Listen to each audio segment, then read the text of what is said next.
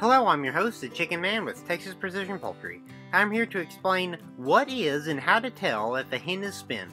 There comes a time in a hen's life where her egg production drops to where she will not lay enough eggs a year to justify feeding her. This is what spent means in poultry.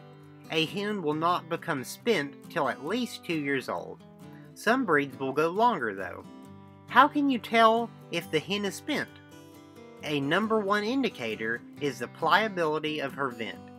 A hen in her laying cycle will be soft, moist, and pliable, where a spent hen will have a hard, dry, and less pliable vent.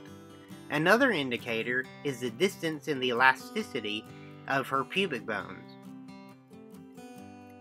They should be at least two fingers width apart and quite elastic. If there is no flexibility, she is probably not laying eggs.